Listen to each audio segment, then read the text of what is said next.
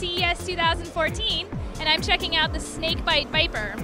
It's basically an all in one tablet, gaming, and smart TV experience for the Android platform. The Snakebyte Vyper is a quad core Android tablet that comes with a bunch of accessories. It comes with a docking station, a game controller, and also a smart remote. Basically, the idea is that you can take your tablet, throw it on a docking station, and get a smart TV experience from the tablet.